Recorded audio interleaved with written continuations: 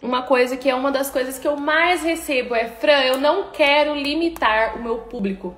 Porque parte-se do pressuposto que quando a gente escolhe um nicho, você vai falar só para determinadas pessoas e você deixa de alcançar mais pessoas. E isso não é uma verdade.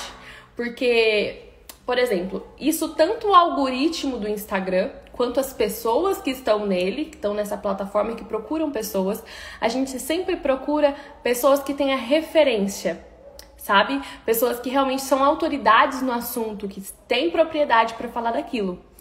E o Instagram mesmo, ele entrega mais o conteúdo quando você tem um nicho específico. Às vezes você fala, Fran, não tem um, um assunto em si que eu abordo, eu falo de tudo. Aí tá um problema. Por quê? Porque a partir desse momento as pessoas não vão identificar sobre o que você fala e por que, que elas te seguiriam.